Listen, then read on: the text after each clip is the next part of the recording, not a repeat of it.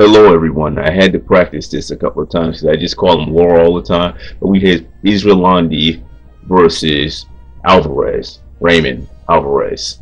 Uh, we're gonna jump straight into it. But before we jump straight into it, don't forget to smash the like button, share and subscribe, and let's go on. First round, both men come out trying to control the fight with their lead hands. And Erislandy is kind of sneaky. He's going to try to take that lead foot and put it to the outside of the orthodox fighter, trying to take the lead foot dominance. And he's going to get countered, but I think he also lands the jab too. That right there was a beautiful counter portrayed by Alvarez. So Lara goes back to keeping him at distance with that long jab of his. Pay attention to Alvarez's lead foot He's going to take lead foot dominance, but he's going to be a little slow on that trigger. It has to be hand and feet working together at the same time, or at least know your opponent's time. Look at this. Whoops! Too slow on the trigger. And uh, Israelari, Erislandy gets away. And then returns something else. Pay attention to this next scene as Lara shoots a straight jab to the head as a feint, and then goes to the body with a straight left, I should say. Alvarez, not to be outdone, tries to retaliate by going back to the body, but it receives a hook for his troubles, a right hook that is. Alvarez, in desperation, changes levels, gets slow, and starts attacking Erislandy uh, lethargically, and only gets countered for all his troubles.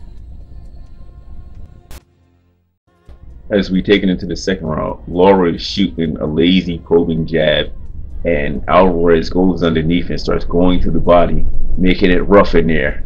He's trying to take Lara out, or at least regain some confidence. Receives a body shot. Erislandy backs up. Notice how Alvarez keeps on dropping his hands. He gets countered over the top. And that's it. Three left hands.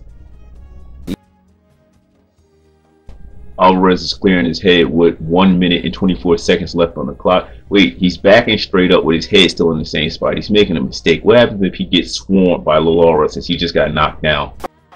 Alvarez needs to move his head. He's got his head in one spot. Oh, what a big left by Lara. Yeah. Oh, I think it's, I think done.